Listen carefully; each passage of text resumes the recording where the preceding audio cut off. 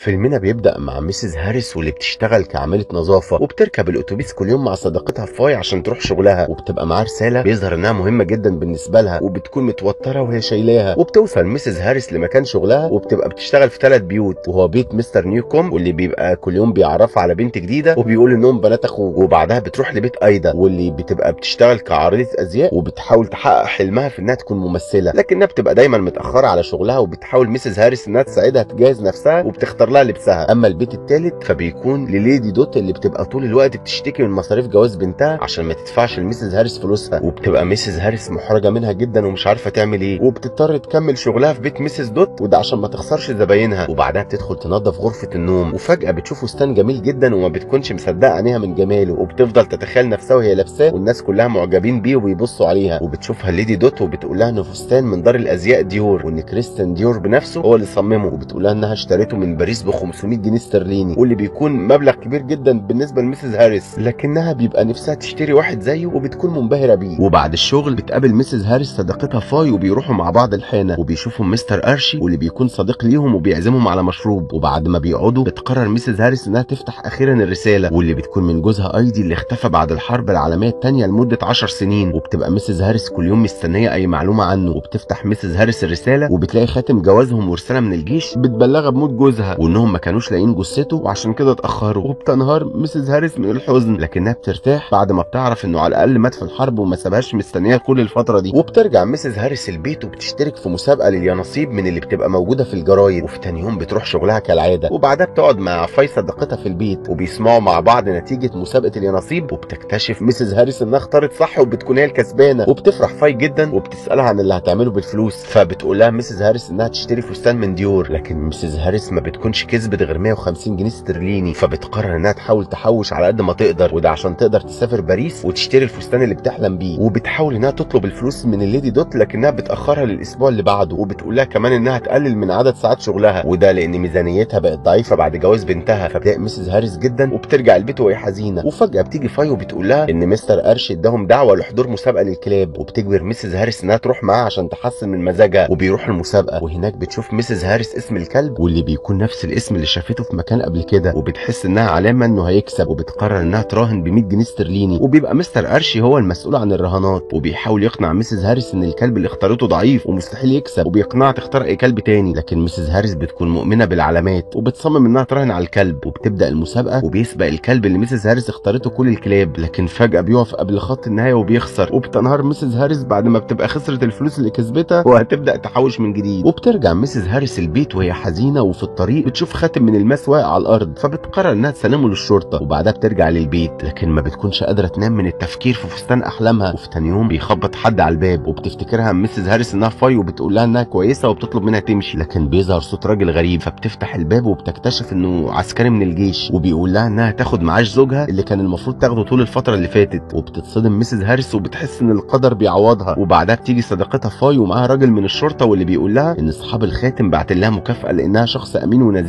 وبيديها مبلغ مالي. وبعدها بيجي مستر أرشي واللي بيدي لميسيس هاريس الفلوس اللي دفعتها في الرهان وأكتر لأنه ما سمعش كلامها. وقرر يراهن على الكلب اللي كسب وبيديها فلوسها. وبتفرح ميسيس هاريس وما بتكونش مصدقة اللي بيحصل. وبتقدر في يوم واحد تجمع 500 جنيه استرليني واللي هيكفيها لرحلتها في باريس. وبتحجز ميسيس هاريس الطيارة لباريس. وبتسافر لأول مرة وبتكون مبسوطة جدا. وأخيرا بتوصل باريس وبتفضل قاعدة في موقف العربيات. وده لأن ما عندهاش مكان تبات فيه. وفي تاني يوم بتطلب من شخص إنه يوصلها لدار الأزياء ديور. وبتتفاجئ ميسيس هاريس بشوارع باريس اللي بتبقى مش نظيفة فبيقول لها الشخص اللي معاها ان عمال النظافة عاملين إضراب بسبب ضعف المرتبات وعشان كده الشوارع اتحولت لمقلب للزبالة. وأخيرا بتوصل لدار الأزياء وبتبقى مش مصدقة نفسها ولسوء حظها ما بتقدرش إنها تدخل بسهولة وده لأنه بيكون ميعاد عرض مجموعة جديدة من الفساتين. لكن بالصدفة بتنزل واحدة من العارضات من عربيتها وبتقع قدام ميسيس هاريس اللي بتساعدها وبتخليها تقوم فبتجري العارضه بسرعة لأنها بتكون مستعجلة وبتنسى شنطتها. فبتدخل ميسيس هاريس وراها وبتديها الشنطة وبتشكرها العارضه وبيكون اسمها ناتاشا وبعدها بتوصل هاريس لمكتب الاستقبال وهناك بتتكلم مع الموظفة وبتطلب منها تتفرج على الفساتين لأنها عايزة تشتري واحد فيهم. لكن بتيجي المديرة وبتتضايق من وجود هاريس في الوقت اللي بيبقوا بيستقبلوا فيه أرقى طبقات المجتمع وبتبقى المديرة عنصرية وبتحاول إنها تطرد ميسيس هاريس لأنها بتكون مقتنعة إنها مش هتقدر تشتري أي فستان. فبتتعصب ميسيس هاريس وبتطلع كل الفلوس اللي معاها قدامهم وبتقول إنها بتشتغل عامله نظافة وإنها كانت بتحلم تشتري فستان منهم. وبتطلب منهم يحترموها لأنها قطعت مسافة طويلة عشان تيجي لحد عندهم وبيشوفها واحد من النبلاء واللي بيكون اسمه مستر ماركيز وبيقرر إنه يخليها تدخل معاه العرض وبتتضايق واحدة من المدعوين وبتحس بالغيرة والحقد من مسز هاريس ومش بتكون عايزة تقعد جنبها. لكن بتدخل مسز هاريس العرض وبتتفرج على الفساتين وبتنبهر بواحد فيهم وبتكتب رقمه في الورقة اللي معاها. وبيعجب مستر ماركيز بكونها شخص حالم وبيديها وردة وبيقول لها إنه اتشرف بمعرفتها. وبيخلص العرض وبتطلب مسز هاريس الفستان اللي كتبت رقمه في الورقة. لكن فجأة بتيجي الليدي اللي بتكون متضايقة من وجودها وبتقول نفس رقم الفستان بتاع مسز هاريس ولأنها عميلة دايمه ما بتقدرش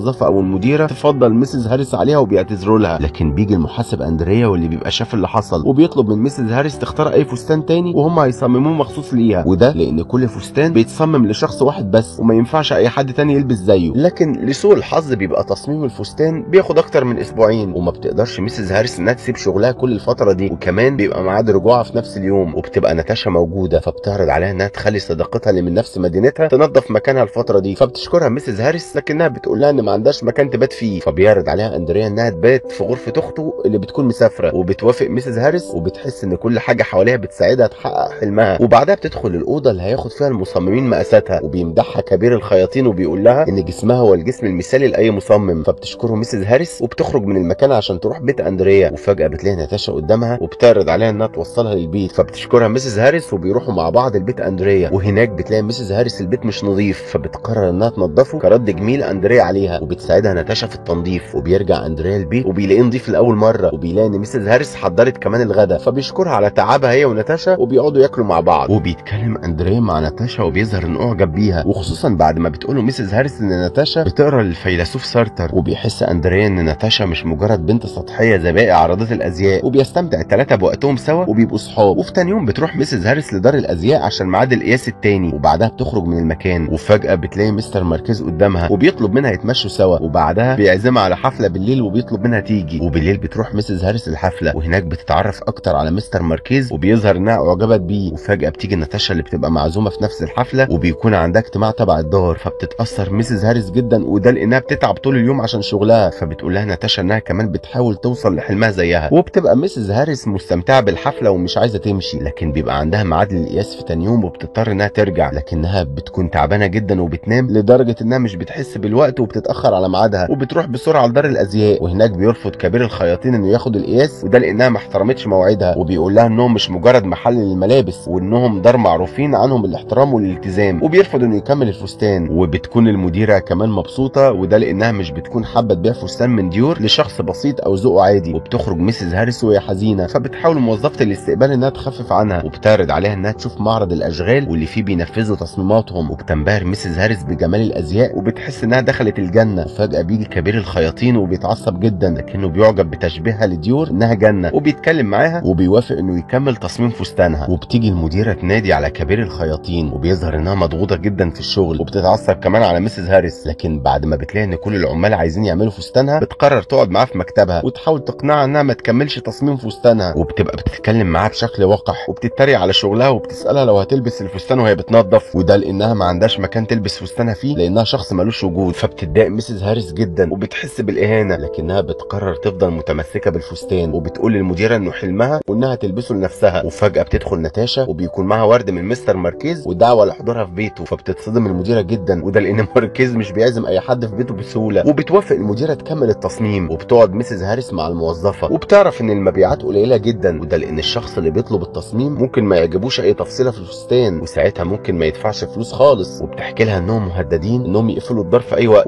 وبتتضايق مسز هاريس جدا وبترجع البيت وهي حزينة وبتمشى مع أندريا وبتطلب منه إنه ما يسمحش لدار أزياء زي ديور إنها تقفل وإن أكيد في حل للمشكلة. فبيقول لها أندريا ان عنده أفكار لكن المديرة مش بتسمح له إنه يعرضها وده لأنها مش موافقة عليها. وبعدها بيرجعوا البيت وفي تاني يوم بتروح مسز هاريس لبيت مستر ماركيز وهناك بتعرف إنه بيتعامل معاها بلطف لأنه بيعطف عليها. وده بعد ما بيقول لها إنها بتفكره بالخادمة اللي كانت عنده في المدرسة واللي كانت دايما بتخفف عنه وبتحبه. وعشان كده بيحس بإن في نوع من الارتباط بينهم. فبتتصدم مسز هاريس بعد ما بتلاقيه بيشبهها بالخادمة وما بترضاش تقعد في البيت وبتمشي بعد ما بتحس بالإهانة. وبتروح ميعادها في دار الأزياء لكن فجأة بتلاقي موظفة الاستقبال وباقي الخياطين خارجين وهم بيعيطوا وبتبقى الدار قفلت بعد ما بتبقى فلست. لكن مسز هاريس مش بتيأس وبتطلب منهم يمشوا وراها. وبتدخل للمديرة وبتحاول تقنعها تسمع لأندريا وده لأن افكارهم ممكن تساعدهم. لكن المديرة بتطلب منها ما تتدخلش في خصوصية شغلهم. لكن مسز هاريس بتجمع باقي الموظفين وبتقول لهم إنهم هيعملوا إضراب. وبتدخل لمكتب كريستيان ديور بنفسه وبتطلب منه يسمع أندريا لمدة 10 دقائق بس. وبيسمع كريستيان أفكار أندريا عن توسيع دار الأزياء وفتح فروع في أكتر من مدينة تانية وإنهم كمان ممكن يعملوا تصميمات تناسب الست العادية ومش شرط إنها تكون من الطبقة الأرستقراطية. وبيقترح كمان يزودوا منتجاتهم من العطور والساعات ويستغلوا اسمهم التجاري وثقة الناس فيهم بعرض المنتجات دي. وبيوافق كريستيان ديور على الاقتراح. وبتنجح ميسيس هاريس إنها تخلي دار الأزياء مفتوحة وما تسرحش الموظفين منها. وبيفرح الكل بيها وبيسقفوا لها ما عدا المديرة اللي بتكون معارضة الفكرة وبتقدم استقالتها وبتمشي لكن ميسيس هاريس وأندريا بيقرروا ما يسيبوهاش تمشي وبتروح لها هاريس البيت بنفسها وده بالرغم من إهانتها ليها قبل كده وبتحس المديرة بالذنب بسبب معاملتها لميسيس هاريس. وبتعتذر لها وبتوافق ترجع الشغل تاني. وبيسأل أندريا عن ناتاشا فبتقول المديره إنها قدمت استقالتها وسافرت عشان تحقق حلمها. فبيخرج أندريا وميسيس هاريس بسرعة عشان يلحقوها وبيوصلوا لمحطة القطر وبيلاقوها هناك. وبيقرر أندريا يعترف لناتاشا بحبه وبيطلب منها تفضل معاه في باريس وتدرس الفلسفة اللي بتحبها وبيقول لها إنه هيساعدها. وبيقرروا انهم يرتبطوا ببعض. وبترجع ميسيس هاريس لمدينتها ومعاها الفستان اللي كانت بتحلم بيه. وفي تاني يوم بتيجي أيدا واللي بتبقى بتعيط لأنها عندها حفلة مهمة ومش بيكون عندها فستان تروح بيه. فبتفتكر ميسيس هاريس كلام مدير دار الأزياء في إن الفستان لازم الناس تشوفه. وبتقرر تديه لأيدا تحضر بيه الحفلة. وبتفرح أيدا وبتشكرها. وفي تاني يوم بتروح ميسيس هاريس شغلها وبتوصل لبيت أيدا. لكنها بتلاقي الفستان محروق. وبتبقى أيدا سايبة رسالة لميسيس هاريس بتعتذر فيها عن اللي عملته في فستانها وإنه اتحرق منها بالغلط. وبتنهار ميسيس هاريس وبتسيب مفتاح البيت لأيدا. وبتقرر إنها ما ترجعش تاني. وبتقدم كمان استقالتها لليدي دانت وبتطلب منها تسوية مرتبها. وبترجع البيت وهي حزينة وبتفضل أيام في البيت. وبيقلق عليها أرشي وفاي جدا. وبيقرروا إنهم يقتحموا البيت لأنها مش بترد على أي حد فيهم. وبيحاولوا يخففوا عنها. وبتقول لها فاي إن فستانها اتصور في الحفلة. والحادثة بقت في كل الجرايد وإنها بقت مشهورة. لكن ميسيس هاريس بترد عليها بكل حزن وبتقول لها إنها كان نفسها تلبسه ولو مرة واحدة بس. وبتعدي الأيام وبتحاول ميسيس هاريس إنها تنسى اللي حصل. لحد ما في يوم بيجي عامل البريد وبيديها هدية ومعاها باقه ورد كبيرة. وبتفتح ميسيس هاريس الهدية. وبتكتشف إنها من كريستيان ديور نفسه. وبيبقى فيه الفستان اللي كانت عايزاه أول مرة. وبتفرح ميسيس هاريس جدا. وبتلاقي رسالة من ماركيز وأندريا وناتاشا ومدير ديور بيشكروها فيها على طيبتها وعطفها وبيقول لها إنها تستحق كل الشكر منهم. وبيحكوا لها إن الحادثة اللي حصلت لفستانها انتشرت في كل مكان. وتحولت لدعاية للفستان والمبيعات زادت بسببها. فبتفرح ميسيس هاريس وبتقرر إنها تلبس الفستان في أول حفلة في مدينتها. وبتظهر ميسيس هاريس بالفستان أخيرا. وبينبهر كل اللي في الحفلة بجمالها وبيعجب بيها مستر أرشي وبيعرض عليها ترقص معاه وبتكسب ميسيس هاريس الحب والفستان بسبب قلبها